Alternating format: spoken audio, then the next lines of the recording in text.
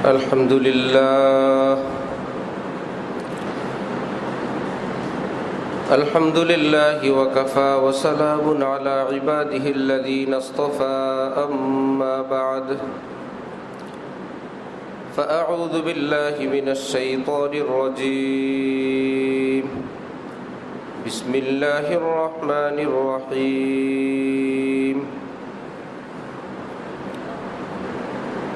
يا أيها الذين آمنوا اتقوا الله اتقوا الله وكونوا مع الصادقين.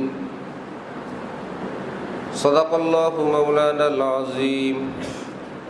وقال رسول الله صلى الله تعالى عليه وسلم ألا إن في الجسد مزغة اذا صلحت صلح الجسد كله واذا فسدت فسد الجسد كله الا وهي القلب او كما قال النبي عليه الصلاه والسلام. محترم مسلمان کرام ہمیں اللہ پاک رب العالمین پوتر کلام অংশ বিশেষ তেলাওয়াত করলাম। এবং হজরত রসুল করিম সাল্লাহ আলিহি ওসাল্লামের একখানা হাদিস শরীফ পাঠ করলাম। আল্লাহ পাক কোরআন শরীফ এবং হাদিস শরীফের পরিপূর্ণ নূর আমাদের সকলকে নসিব ফরমান। কোরআনে পাক এবং হাদিসে পাকের নূরে আমাদের জীবনকে সুন্দর করার, আলোকিত করার তৌফিক দান করেন।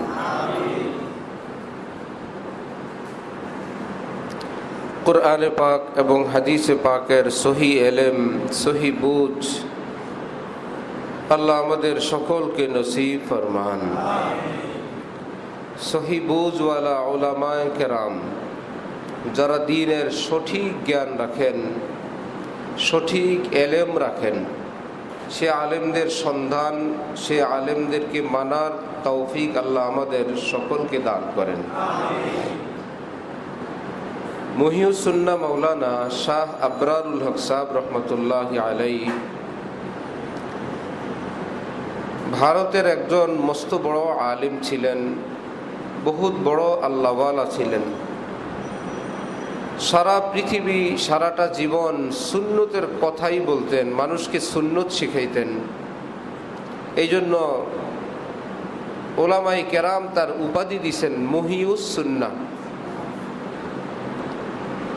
যিনি সুন্নতকে প্রতিষ্ঠা করেন, যিনি সুন্নতকে মানুষের মাঝে প্রচার প্রসার করেন, এই নামেই তিনি প্রসিদ্ধ মহিউস সুন্নাত যার জিন্দিগি সুন্নত নিয়ে।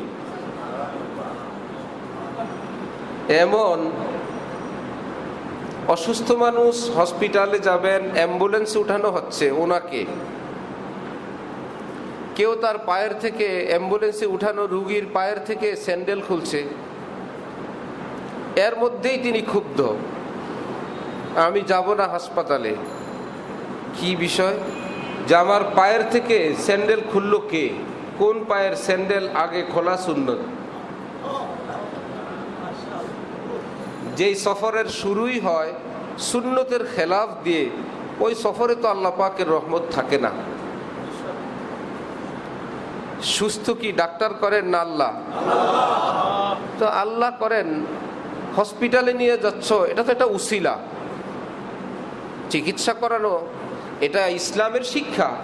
কিন্তু কোনো হসপিটাল, কোনো ঔষধ, কোনো ডাক্তার তো কাউকে চিকিৎসা করতে, সুস্থ করতে পারেন না। সুস্থ করার মালিক আল্লাহ। তো সেই রব্বুল আলমিন, তিনি বলছেন, আমার থেকে রহমত নিতে হইলে, আমার থেকে ভালোবাসা নিতে হইলে, আমার থেকে আসমান জমিনের খাজানার চাবি নিতে হইলে, আমার নবীর মতন চাল, চলন, বেশ, ভূষা, আচার আচরণ বানায় নিয়ে আসো। ওয়াহেদ তরিকা।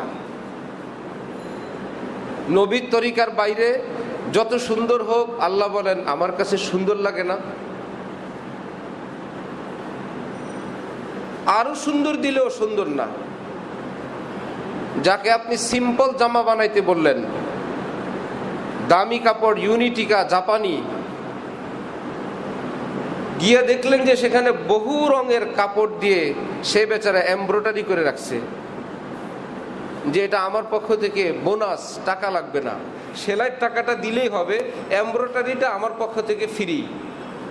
যার এমব্রয়ডারি রুচিতে আসে না, তিনি কি খুশি হবেন? ওই বেচারা তো অনেক কিছু দিল। ভালোবাসলো, মোহাব্বত করল। আপনি বলবেন, ভাই, আমি তোমাকে যেমন বানাইতে বলছি, তেমনটাই দিতা। আমি আপনি যেই মাপে দর্জিকে বলি, জামা বানানোর জন্য, সেখান থেকে যদি এক হাত করে বড় দেয় কম দিলে না কম? বেশি দেওয়া তো ভালো। আপনি, আমি কি খুশি হব? দর্জি বললেন, হুজুর, যেটা চাইছেন, ও তো আসি, এর মধ্যে সেটাও আছে অতিরিক্ত কিছু দিয়ে দিছি। হবে না। মা বোনরা রান্না করেন, দামি দামি মশলা দেন, যদি বেশি দেওয়া দেয়, যত দামি দিব, তত মজা হবে। আমি রান্না করছি আগে। রান্না শুরু থেকে নিয়ে শেষ পর্যন্ত একটু একটু করে মশলা দিতাম। একটু জিব্বায় লাগাই, মনে হয় ওটা দিলে আর একটু ভালো লাগবো। শেষে দেখা গেল কোনো জাতের হয় নাই। এত মশলা দিলে হয় নাকি?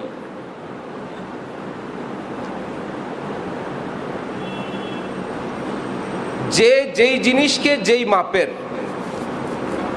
সেটাকে সেই মাপে দেওয়া, এটা আদব। অনেক মহব্বতের চোটে ছোট্ট একটা শিশুকে আপনি এমন জোরে জড়ায় ধরলেন, যেমন আপনি আপনার বন্ধুকে ধরেন। যে সব ভালোবাসা মানুষকে দিব, আমার বাচ্চারে দিব না, ওই মাপের দিলেন, বাচ্চা দুনিয়া থাকবে। প্রত্যেক জায়গায় এটাকে এতে দাল বলে শরীয়তের ভাষায়। এতে দাল কি বলে? এতে দাল সামঞ্জস্যতা। কোথায় কতটুকুন? এতে দালকে বুঝেন বাঘে কামড় দিলে মানুষ বাঁচে? বাঘ নিজের বাচ্চাকে এক জায়গা থেকে আরেক জায়গায় নেয় কীভাবে? কামড় দিয়ে। এতেদাল বুঝার জন্য। বিড়াল তার বাচ্চাকে কামড় দিয়ে নেয়, কুকুর তার বাচ্চাকে কামড় দিয়ে নেয়, বাঘ তার বাচ্চাকে কামড় দিয়ে নেয়, যেই কামড়কে পৃথিবীর সবাই ভয় পায়, বাঘের দাঁত। এত আসতে যে বাচ্চাটা পড়ে, ব্যথা পাবে, হাড্ডি ভাঙবে এত আসতে হলে তো বাচ্চা নিতে পারবে না, ছুটে পড়ে যাবে। এত জোরে না যে বাচ্চা ব্যথা পাবে, বাচ্চা বুঝে এটা আমার মায়ের আদরের কামড় সুহান আল্লাহ মা আবারে এত আদর করল, হালকা করে দিছে, একদম ফ্লোরে পড়ে হাড্ডি গুড্ডি ভাঙছে, হইল না। এটাকে বলে এতে দাল কি বলে? মাপঝুপ ঠিক রাখা, কোথায় কতটুকুন? ওই বাঘ যখন হরিণের, হরিণ খায়, এভাবে কামড়ায়। না। আল্লাহ যেখানেই বলছেন আজিজ, সেখানেই বলছেন হাকিম। আল্লাহ পাকে নিজের শক্তি প্রদর্শনের জন্য কোরআনে পাকে বারবার বলছেন, আমি আজিজ, মহাপরাক্রমশালী। ইদা আরাদ হও, হয়ে যায়। সেকেন্ড দেরি নেই। আমার এত ক্ষমতা, কিন্তু আমি হাকিম। এই ক্ষমতা আমি সব জায়গায় দেখাই না। কোথায়, কোন মাপে, কতটুকুন ক্ষমতা প্রয়োগ করতে হয়, সেই জ্ঞান, সেই হিকমত আমি আল্লাহর আছে। কতগুলো বল আছে এমন না। কতগুলো পয়সা আছে। পয়সা ব্যবহারের নিয়ম জানে না। কোথায় কত টাকা দিতে হবে? ছেলেকে প্রতিদিন পাঁচ হাজার টাকা দেয় হাত খরচ।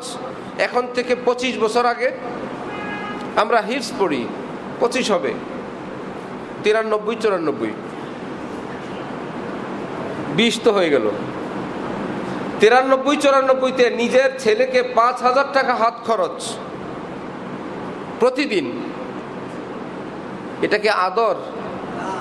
এটা আদর হইল না। রেজাল্ট কি হইল? ছেলেটা দুনিয়া আখেরাত সব হারাই ফেলল, চরিত্র হারাইলো, স্বাস্থ্য হারাইলো, জীবন হারাইলো, যৌবন হারাইলো। সব ধ্বংস। মায়ের আদরে, বাবার আদরে। আদর করে ছেলে মেয়েকে কক্সবাজার পাঠায় দিল। কাদের সাথে?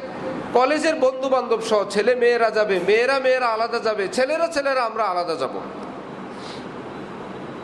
আমরা আলাদা আলাদা থাকব। এটা আদর হলো না। আল্লাহ এবং রসুল এই আদর আমাদেরকে শিখান নাই। নবীজি একদিকে বলছেন, তোমার সন্তানের উপর জুলুম, অত্যাচার করবে না, সীমা লঙ্ঘন করবে না। আরেকদিকে বলছেন, আদবের লাঠিটা তাদের উপর থেকে সরাবে না। আদব শিষ্টাচার, শিক্ষা দেওয়ার যে লাঠি, শাস্তি দেওয়ার, সেটা তাদের উপর থেকে কি করবে না? সরাবে না, এটা দেখা রাখবে। ভালো হইলে ভালো, না হইলে লাঠি, না হইলে শাস্তি দুটার একটা সুন্দর সংমিশ্রণ এটা আমাদের নবীজি আমাদেরকে শিখাইছেন। পাকিস্তানের এক আলেমের ছেলে একটু অসুস্থ, কিন্তু শারীরিকভাবে ভীষণ শক্তিশালী, অনেক বেশি। এতটা যে অস্বাভাবিক। কারোর সঙ্গে মুসাফা করে যদি হাতে টিপ দেয় বড় ব্যথা পায়। হাড্ডি ভেঙে যাওয়ার উপক্রম। তাকে যতই না করে বুঝে না, মানসিকভাবে অসুস্থ। বিয়ে করাবে তো বউ রাখার মতন যে জ্ঞান, বুদ্ধি লাগে সেটা নাই। কারণ কেউ যদি শারীরিকভাবে ফিট হয়, শরীয়তে পাকে তাকে বিয়ের পারমিশন দিয়ে দেয় নাই। শারীরিকভাবে ফিট, আল্লাহ রসুল বলেন, দাঁড়াও, বিয়ে করবা। বউকে ঘর দিতে পারবা? বিয়ে করার পূর্ব সত্য।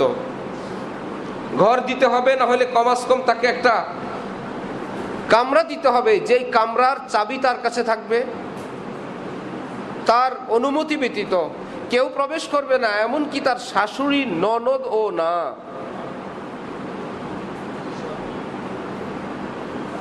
বউকে কোনো বাড়িতে আনা হয় মেহমান বানায় না মালিক বানায়? মালিক। বিশ্বাস যদি না হয়, শাশুড়ির দিকে খেয়াল করবেন। শাশুড়ি কি এই বাড়ির মেহমান না মালিক? এই বাড়িতে আসছিলেন কেমনে? বউ হয়ে, বিয়ে হয়ে।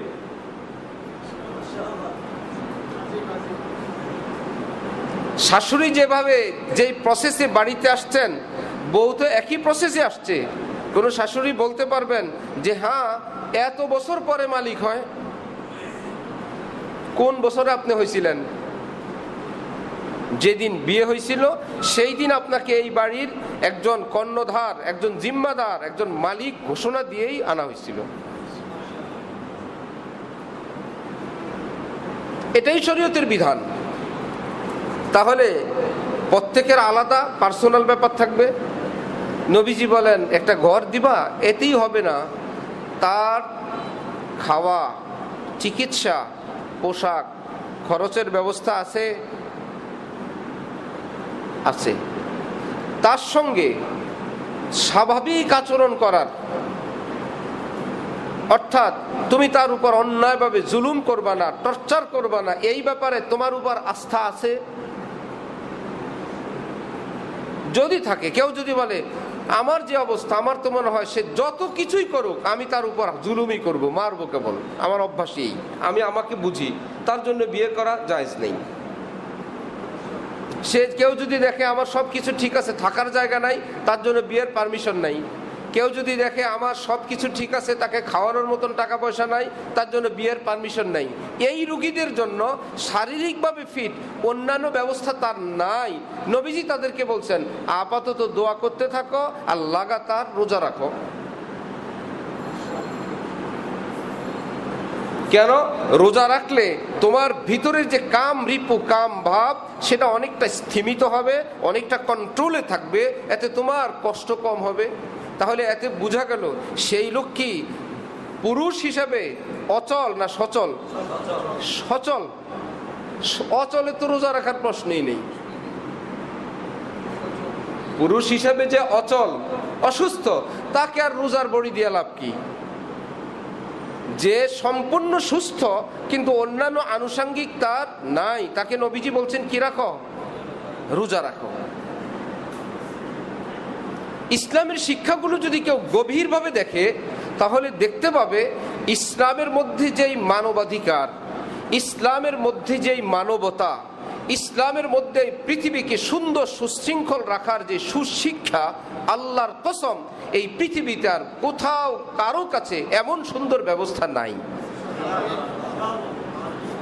যেটাকে হাকিমুল উম্মদ মাওলানা আশরাফ আলী থানভি নব্বর আল্লাহ মারকাদাহু, তিনি বলেন পৃথিবীর সব ফুল মিলায়ে একত্রিত করলে যে সৌন্দর্যটা হবে, সব ফুল মিলে অত সুন্দর না।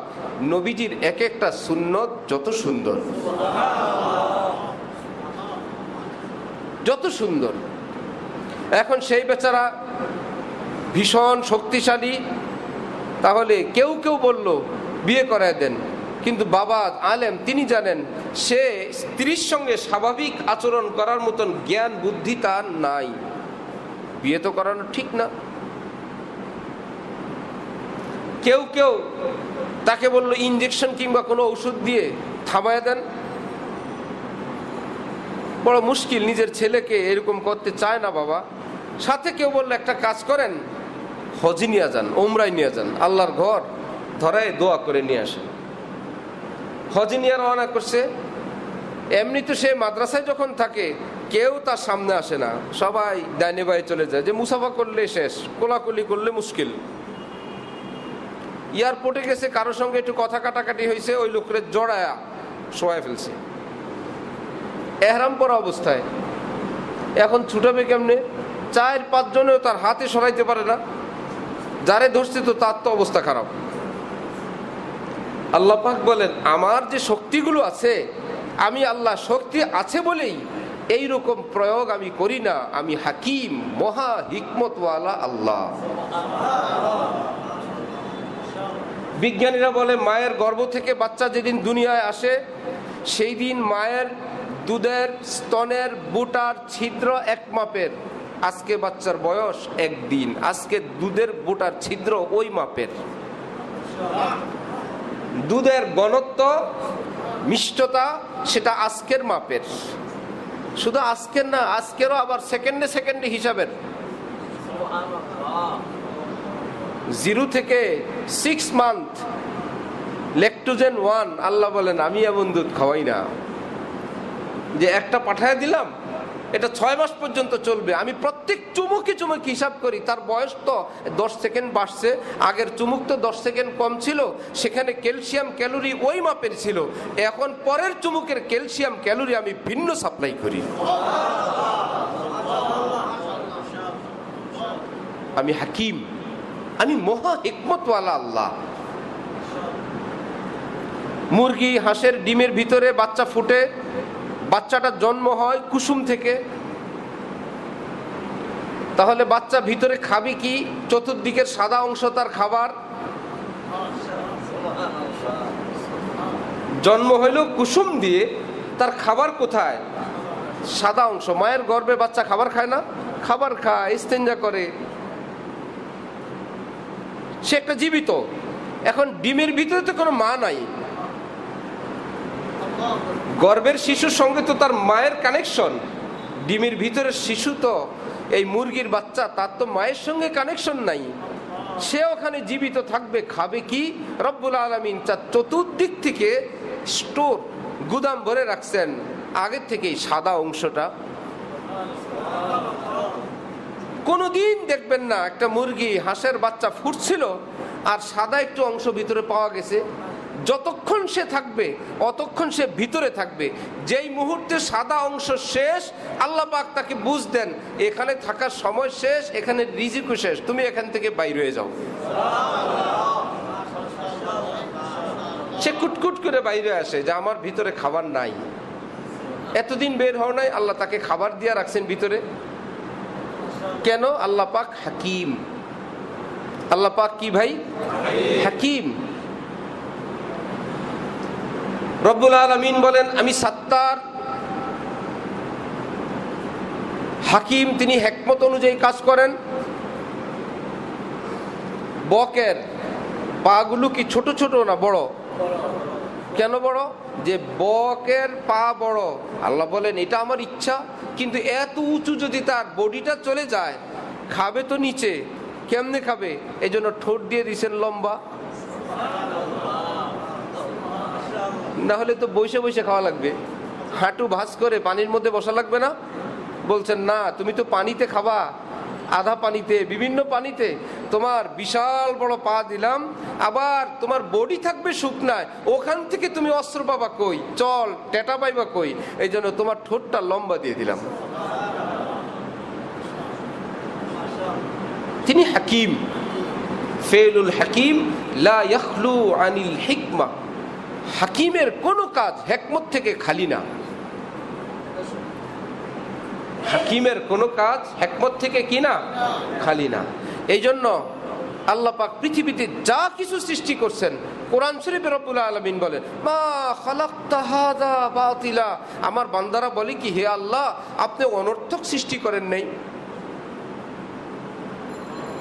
এমনি গাছ হোক, লতা হোক, পাতা হোক, আগের যুগের মানুষ রোগ কম ছিল। এখন রোগ বেশি। খোঁজ নিয়ে জানতে জানতে পারা গেল, যেই এলাকার মানুষ, যেই দেশের, যে অঞ্চলের, সেই মানুষটা সুস্থ থাকার জন্য আল্লাহ পাক ওই এলাকার খাদ্য, দ্রব্য, ভিটামিন, ক্যালসিয়াম, অ্যান্টিভাইরাস সব কিছু ওই এলাকার খাদ্যের মধ্যে সাপ্লাই করে দেন।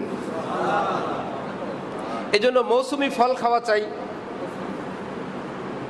ওই মৌসুমের রোগ প্রতিরোধের ক্ষমতা ওই ফলই দিয়ে রাখছেন। ওই তরি তরকারিতে দিয়ে রাখছেন?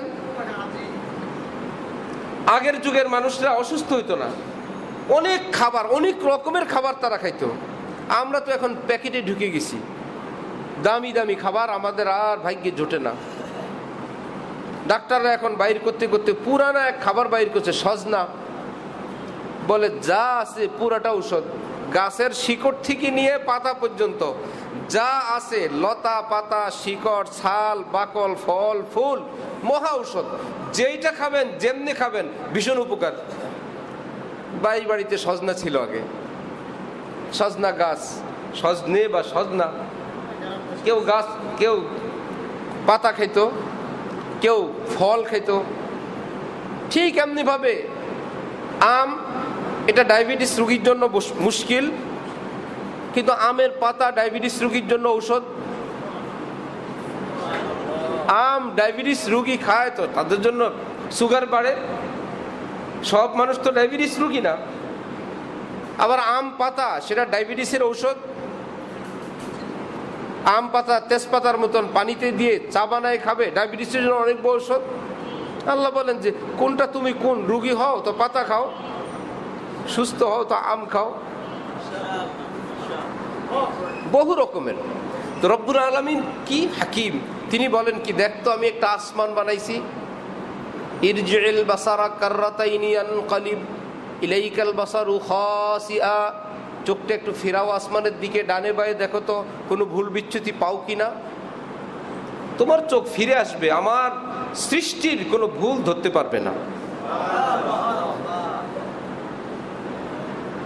গাড়ির মডেল পাল্টায়, মোবাইলের মডেল পাল্টায়, বিল্ডিংয়ের ডিজাইন পাল্টায়, বলে এখন, এটা আরও সুন্দর। আসলেও সুন্দর আরও আরামদায়ক। আসলেও আরামদায়ক। এই আরামটা আগে ছিল না, এই বিষয়টি কষ্ট ছিল। নতুন নতুন কিছু আসতেছে না আরও আরামদায়ক। আপডেট।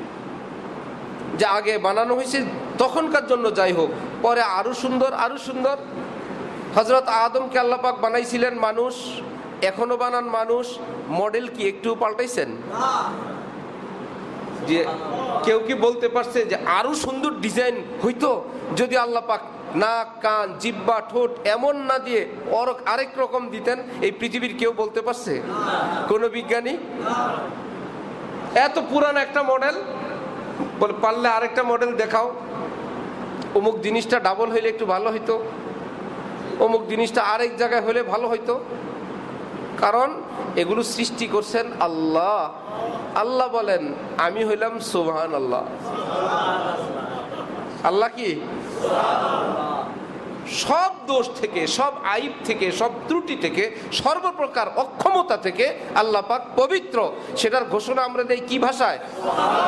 সুবহান আল্লাহ আল্লাহ তো সব ঠিক। সব কিছু ঠিক। আমি আমার শাইকের সামনে একদিন বললাম হজরত আকাশটা তো ভালো না। হজরত বললেন, ভালো না মানি? আকাশ আবার খারাপ হয় নাকি?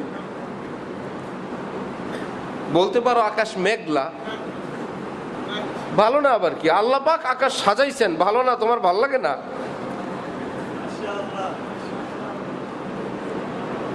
আল্লাহ পাক মেঘ দিয়ে রাখছেন, সেটা তার ব্যাপার। আর তুমি বলো, ভালো না আকাশ? এটা বলা ঠিক না। আকাশ ভালো না, আমরা তো ফিরি বিশাল লোক। ফিরি বিশাওয়ালাদেরকে কোরআন শরীফ আল্লাহবাক বলছেন মায়াল ফিজমিন কাউলিন ইল্লা লাদাইহি রাকিবুন আতিদ। তোমার জবান থেকে যেটা বের হবে, এটা রেকর্ড হবে। কেউ যদি কোনো একটা কামরায়, কোনো কনফারেন্সে একটা ভিডিও ক্যামেরা রেডি করে রাখেন যে শুধু গুরুত্বপূর্ণ কথাগুলো তুমি রেকর্ড করবা ভিডিও বলবেন, না স্যার, যা হবে সব। ঠিক না? যে শুধু এই দুই বস যে কথাগুলো বলবেন এগুলো তুমি রেকর্ড করবা, চা খাবেন, কেউ থুতু ফেলবেন ডানে বাই মন নিবেন, এগুলো তুমি রিসিভ করবা না, এগুলো সেভ করবা না, এগুলো আমাদের উদ্দেশ্য না। সে বলবে, আমার সামনে যা হবে, সব। রব্বুল আলমিন বলেন, এটা তো উপরের ক্যামেরা আমি আসমানি যে ক্যামেরা তৈরি করছি, উপরের সব, ভিতরের সব।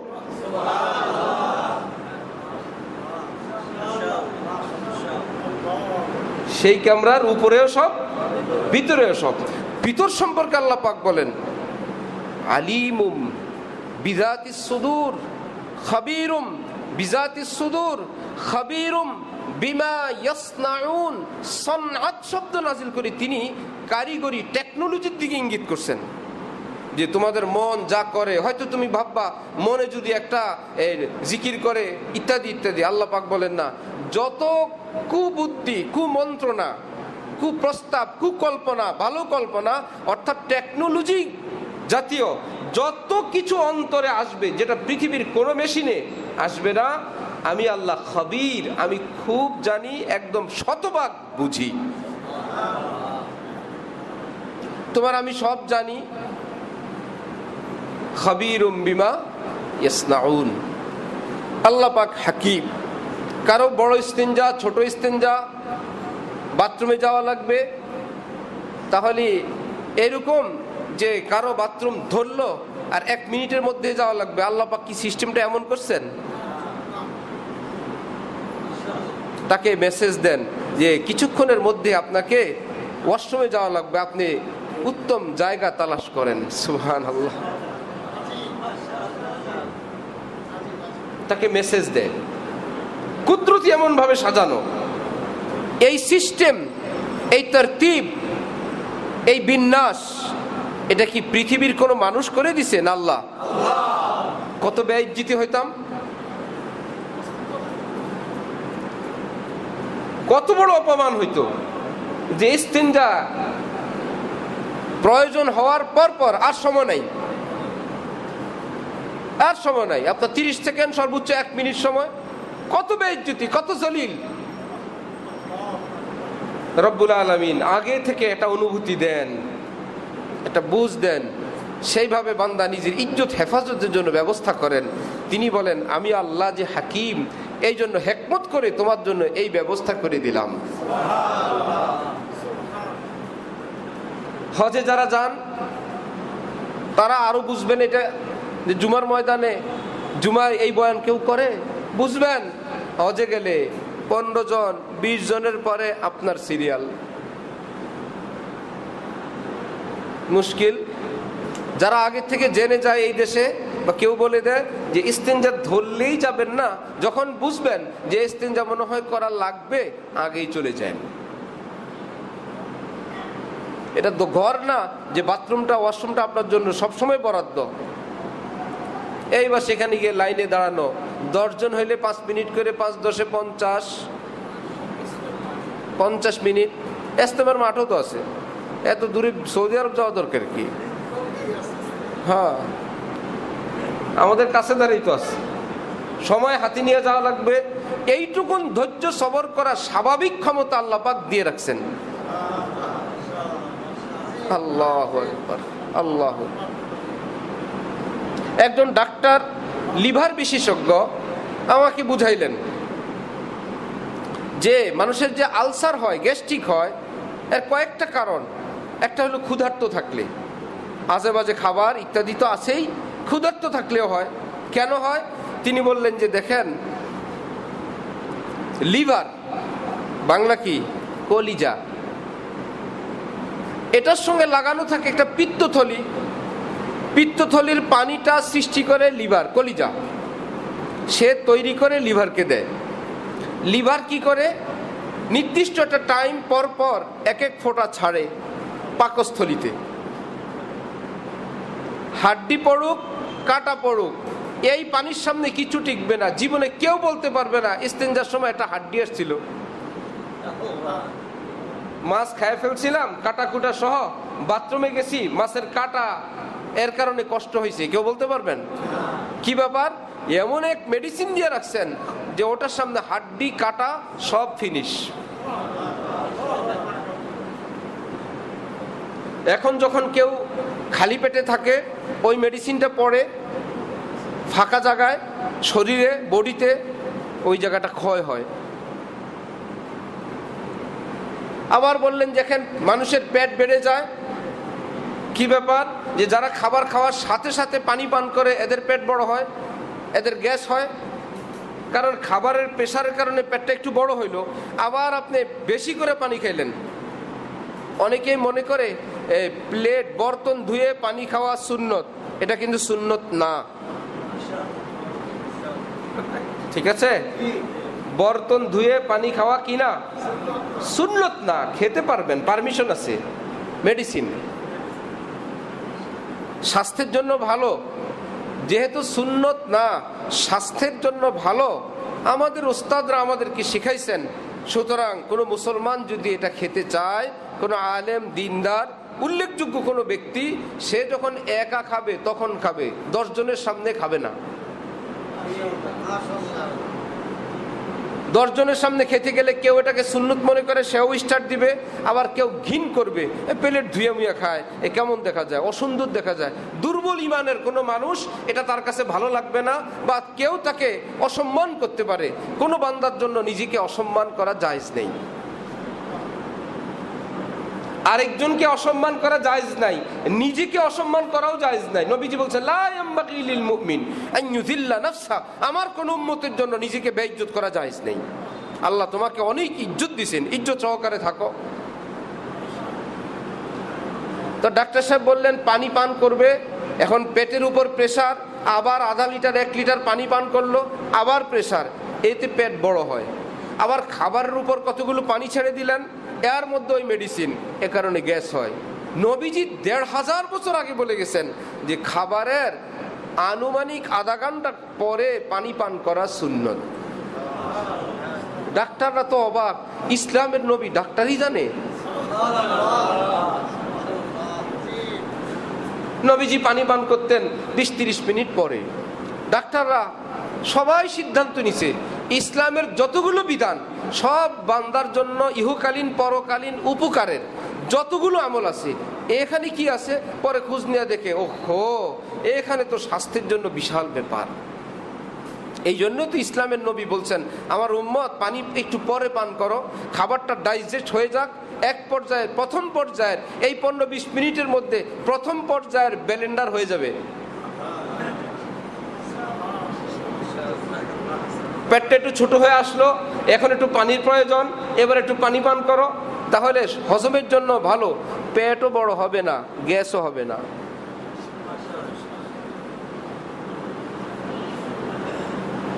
হজরত ইবনে কাইম আল জাউজিয়া বলেন, ইসলামের সব হুকুম আল্লাহ পাকের হেকমতি হেকমত, পুরুষ মানুষের টাকনুর উপর পোশাক কেন পরতে বললেন?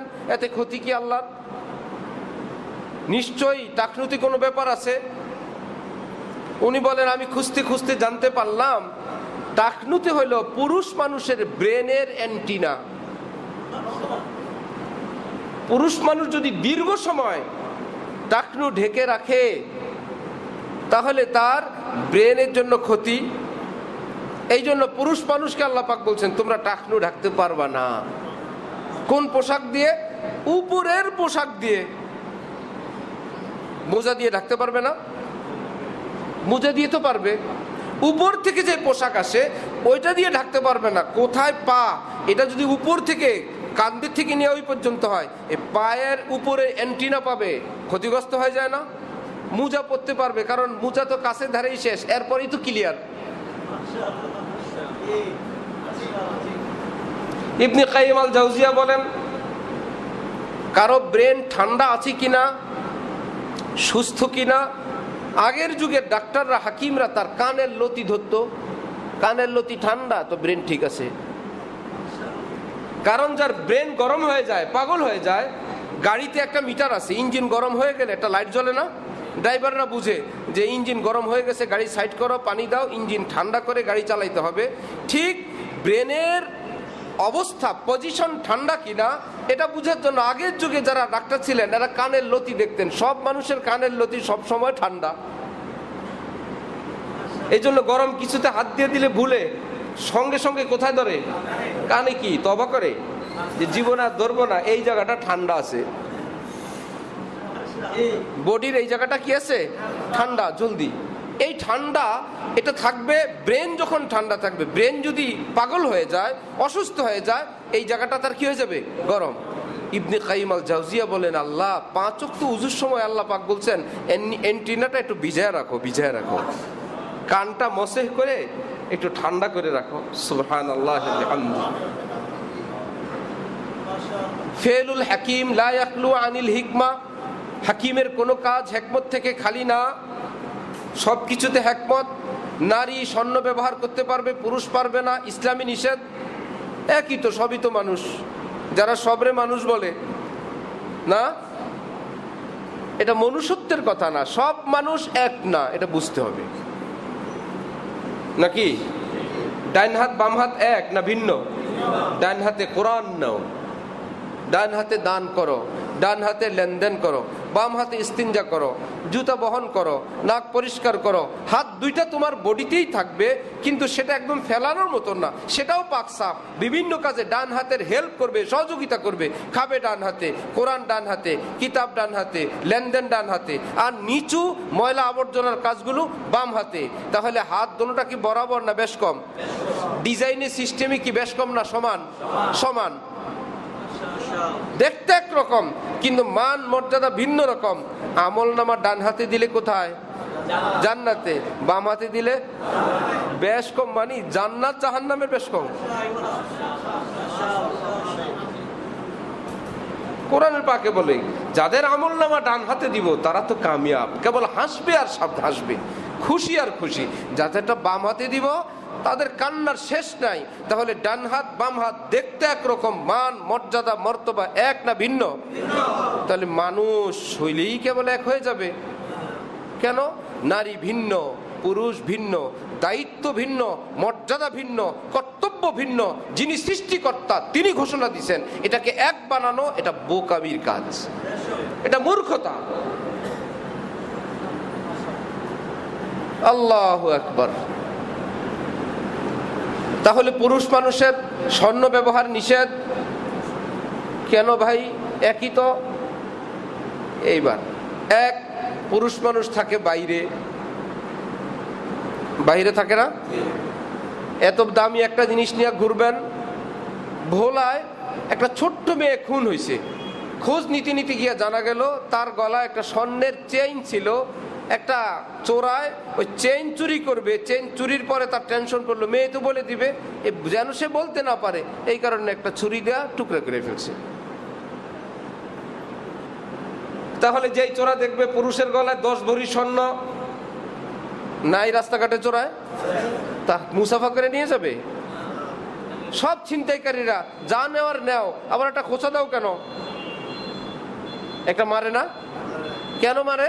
যে আরে যদি না মারি, এ আমারে দৌড়াবে।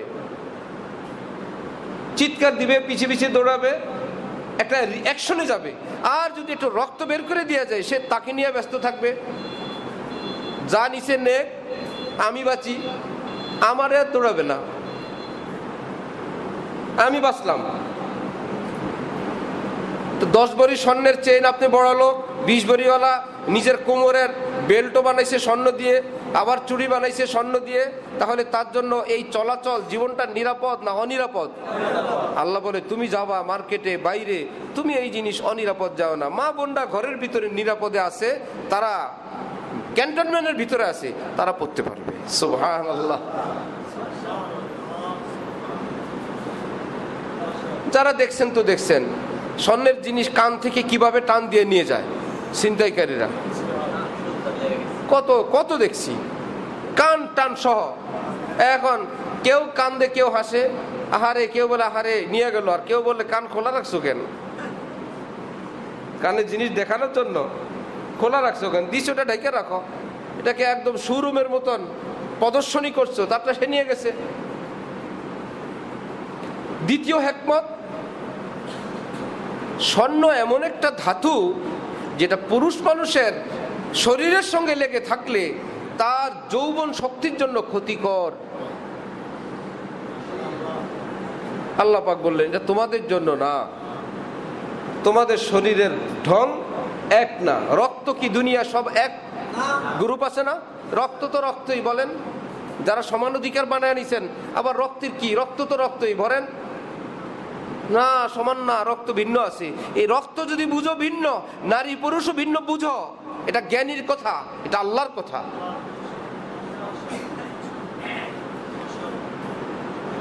আমার ছোট্ট বাবুর জন্মের পরে চোখ থেকে পানি পড়ে, দোনো চোখ থেকে হসপিটালে নিয়ে গেলাম। ডাক্তার সাহেব বললেন, সব মানুষের চোখে পানি আসে। যত মানুষ, সব মানুষের চোখ কি শুকনা না ভিজা? একটা পানি সাপ্লাই হয়। ঠিক নাকের গোড়া যেখান থেকে চোখ শুরু, ওখান থেকে আল্লাহ পাক চিকন চিকন দুইটা সুয়ারেজ লাইনের মতো পাইপ লাগায় রাখছেন। ওই পানিটা আসবে, ওই সুয়ারেজ লাইনের ওই চিকন চিকন দুইটা পাইপ দিয়ে ওই পানিটা নিষ্কাশন হয়ে যাবে। সব মানুষের আছে। উনি বললেন, এই জায়গাটা এইভাবে মেসেজ করেন, পাইপটা খোলে নাই। ঔষধ লাগবে না। কয়েকদিন এভাবে মেসেজ করলাম পাইপ ক্লিয়ার হয়ে গেছে, এখন চোখের পানি পাইপ দিয়ে চলে যায়। এমন একটা পাইপ খুলে দেখান তো যে কোনটা পাইপ কত সূক্ষ্ম, কত অল্প একটু পানি আসে কোন পাইপ দিয়ে, আবার সেই পানিটা যাবে কোন জায়গায়, কোন পাশ দিয়ে? সেটা লাইন করে রাখছেন আল্লাহ পাক হাকিম। আল্লাহ পাক কি? হাকিম। তার প্রত্যেকটা কাজে হেকমত। তাহলে তার যদি এইরকম হেকমত হয় তিনি যদি আমাদেরকে কিছু করতে বলেন এটা কি অনর্থক না হেকমত আছে? যদি কিছু দিতে বলেন, অনর্থক না হেকমত আছে? যদি না খাইতে বলেন, চুপ থাকো সকাল থেকে সন্ধ্যা খাবার আর রোজা, এমনি ক্ষুধার্ত রাখার কোনো ফায়দা না হেকমত আছে? হেকমত আছে? প্রত্যেকটা কাজের হেকমত আছে। এই কথা যদি বান্দার ইয়কিন হয়ে যায়, আল্লাহ বলছেন, এর মধ্যে কত আমার অজানা ব্যাপার আছে, আর কোনো কিছুর দরকার নাই। আল্লাহ বললে আমি মানব। আল্লাহ বলছেন, এর মধ্যে কত কিছু আছে আমার জানা নাই। নাকের ভিতরের ভিতরের, ভিতরে ভিজা, ধুলাবালি যাবে, রোগ হবে, ফিল্টার দিয়ে দিছেন নাকের পশম। বেশি বড় হয়ে গেলে কাটার ব্যবস্থা। আবার সামনে গিয়ে ভিজায় দিয়ে দিছেন, কিছু পশম যদি চলেও, পশম ছেদ করে যদি চলে যায়, ডানে বাই ভিজা আছে, ওটার মধ্যে লেগে আটকে থাকবে। আর আটকাতে আটকাতে ময়লা স্তূপ হয়ে যাবে না? বলল, না, মুসলমান তো, উজুর সময় নাক ঝাড়া দিলে ওই জায়গাটা পরিষ্কার হয়ে যাবে। তিনবার পানি দাও, তিনটা ঝাড়া দাও, একদম নাক পরিষ্কার। আল্লাহ আকবার আল্লাহ আকবার। এই জন্য রব্বুল আলমিন বলেন, এই, তোমরা নিজের দিকে তাকাও না। অফিয়ানফুসিকম আফালা তুবসিরুন? নিজের জাত, নিজের সত্তা মাথা থেকে পা পর্যন্ত নিজেকে একটু দেখো না।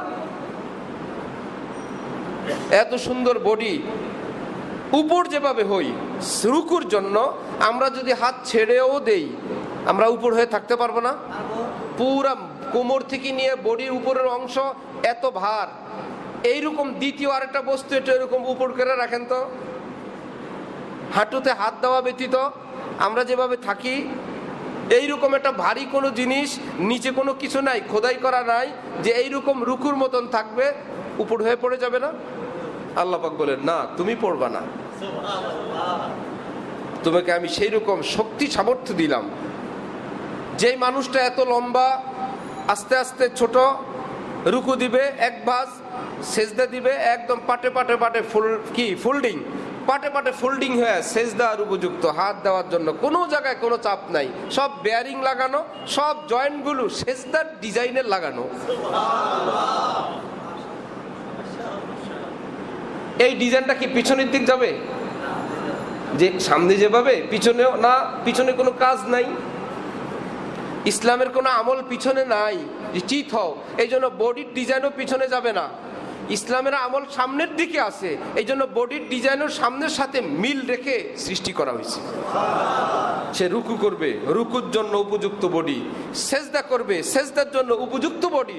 বডি দেখলেই বোঝা যায় অফিয়ান ফুসিকম তুমি তোমার বডিকে দেখো না, আফালা তুম সেরন দেখো না, এটা সেজদার জন্য তৈরি করা। রুকুর জন্য তৈরি করো। হজরতওয়ালা করাচি একদিন বয়ান করলেন আল্লাহ কোরআনে পাকে বলছেন, আমি কেবল ধনী, তোমরা সকলে ফকির। তো হজরতের এক মুরিদ বলল, ফকিরে, তাহলে ফকিরে তো বাটি থাকে, পেয়ালা থাকে। তা আমাদেরকে আল্লাপাক বললেন, যতই বড় লোক হই, ফকিরের থেকে নাম কাটা যাবে না। ফকির নাকি আসেই তা এখন হজরতওয়ালা করাচি মুনাজাতের মতন হাত দুইটা একত্রিত করে বললেন, এই যে ফকিরের বাটি,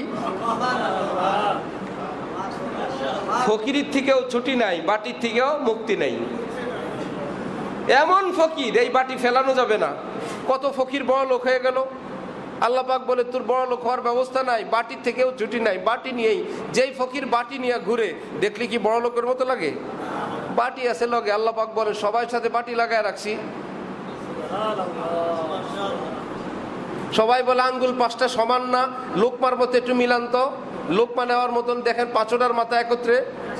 যদি সমান হইতো, ভাতের লোকমা কোন জায়গায় কোনটা চলে যেত লোকমা দিলে এক একটার মাথা আরেক দিকে, বলল, সমান না, কিন্তু লোকমা দিলে কাজে কাজে এটা সমান হবে, জায়গা মতো সমান হবে, কোন মাপে দিলে তখন সমান হবে, আমি ওইভাবেই সৃষ্টি করে রাখছি।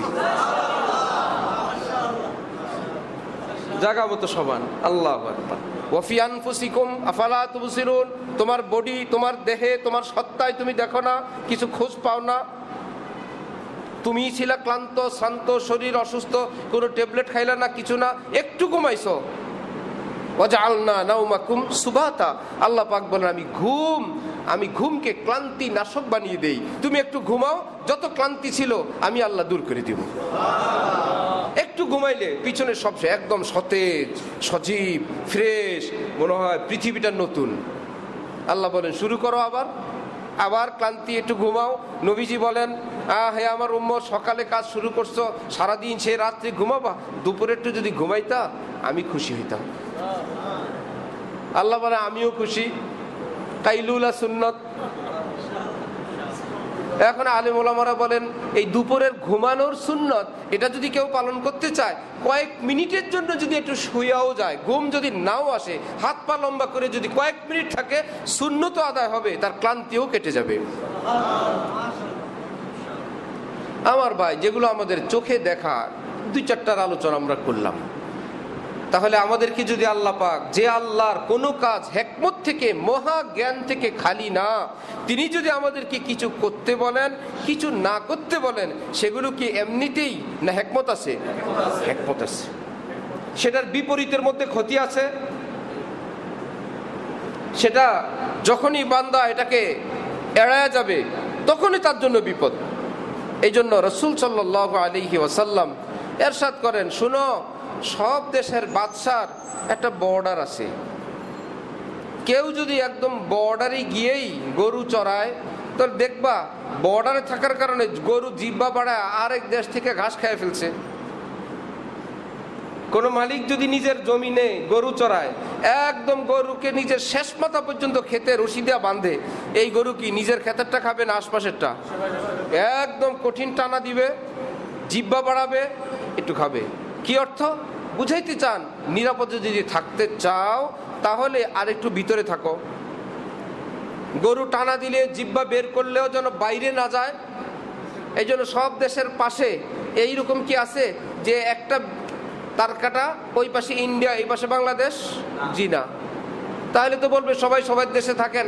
এই যে ভাই বিড়ি দেন, সিগারেট দেন, টাকা দেন, ফাঁক দিয়া। আপনি আপনার দেশে, আমি আমার দেশে।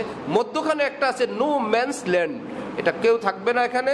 এটা ওই পাশ ভারত, এই পাশ বাংলাদেশ, মধ্যখানে একটু এই শূন্য থাকে, জিরো। এটা কেউ নিবে না। রব্বুল আলমিন নবীজি বলেন, ইসলামও এরকম আছে। মানে আল্লাহ পাক আমাদেরকে সীমারেখা দিয়ে দিছেন। রাজধানী, ফরজ, ওয়াজিব, সুন্নত, মুয়াক্কাদা, মুস্তাহাব, এগুলো সব শহর কেন্দ্রিক, নিরাপদ, বাইরে যায় না মাকরু মাকরু তাহরিমি হারাম। নবীজি বলেন, যেটা হারাম, ওটা হলো সীমারেখা। এর কাছেও যদি যাও, বিপদে পড়ে যাবা। হারামের কাছে গেলে কি হয়ে যায়? বিপদে পড়ে যায়। এই জন্য কোরআন শরীফের লা তাফআলু জিনা আল্লাহ বলেন নেই। জিনা করো না, এ কথা নাই। পাশে লা জিনা জিনার কাছে যায়ও না। জিনার কাছে আবার কীভাবে যায়? অবৈধ সম্পর্ক, অবৈধ লেনদেন, অবৈধ কথোপকন অবৈধ সাক্ষাৎ, অবৈধ কথা, ইত্যাদি ইত্যাদি। ইসলামের নামেও যদি হয়, মাসালা জিজ্ঞাসার নামেও যদি হয়, ওয়াজ শোনার নামেও যদি হয়, যার সঙ্গে যে মাহারাম, না মাহারাম, যার সঙ্গে দেখা দেওয়া জায়েজ নাই, অর্থাৎ যার সঙ্গে বিয়ে জায়েজ। তার সঙ্গে অপ্রয়োজনে কথা বলবে না, কথা বাড়াবে না, কথার মধ্যে সেই রকম নম্রতা, লচক রাখবে না। এটা তুমি একদম লা তাকরাবুর সীমা লঙ্ঘন করছ। আল্লাহ পাক বলছেন, কাছে যাও না, তুমি কাছে চলে গেছো। হজরতুল্লাহ করাচি বলেন যে, আল্লাহর লা সরায় দেয়। আল্লাহ বলছেন, কাছে যাও না। এ আল্লাহর না যে সরায় দেয়, সে বিপদে পড়ে যায়। আর যদি আগে থেকেই অনেক দূর থেকে সতর্ক অবস্থান সে নিরাপদে থাকে, সে বর্ডারের কাছে যায় নাই। এই জন্য আমার ভাইয়েরা, আল্লাহ আমাদেরকে সুন্দর, পবিত্র, সম্মানজনক, ইজ্জতওয়ালা, সুস্থ, জান্নাতি জীবনের জন্য যে নিয়ম কানুন দিছেন, কথাগুলো খেয়াল করছেন, সুন্দর, সম্মানজনক, সুস্থ, জান্নাতি জীবনের জন্য যে নিয়ম কানুনগুলো কে দিছেন? আল্লাহ। সেটার নাম ইসলাম। ইসলাম কি কেবল নামাজ রোজার জন্য না সুন্দর জীবনের জন্য? ইসলাম শুধু নামাজ রোজার জন্য না, নিরাপদ জীবনের জন্য? ইসলাম শুধু দুনিয়ার জন্য না, জান্নাতের জন্য? ইসলাম শুধু আমাদের জন্য না, সকলের জন্য? ইসলাম শুধু মুসলমানের শান্তি না, সবার শান্তি? সবার শান্তি? প্রকৃত মুসলমানের সঙ্গে যদি অমুসলিম কোনো ব্যবসা করে, লেনদেন করে, সে পাগল হয়ে যাবে। আল্লাহ, এত সুন্দর ইসলাম? এত সুন্দর মুসলমান? এই জন্য আল্লাহ আমাদেরকে নিজেদের ধর্ম ইসলামের যতটুকুন পারি, যেখানে যেটা পাই, নবীজির সুন্নত, ইসলামের হুকুম পালন করব আর বলব, এটাই কল্যাণ। এর মধ্যেই নাজাত, এর মধ্যেই ইজ্জত। আমার হোক, সন্তানের হোক, স্ত্রীর হোক, দেশের হোক, সমাজের হোক, সর্বক্ষেত্রে আল্লাহ আমাদেরকে দিনের উপর চলার, দিনকে সব কিছুর উপরে রাখার তৌফিক দান করেন। ও আখরুদ আলহামদুলিল্লাহ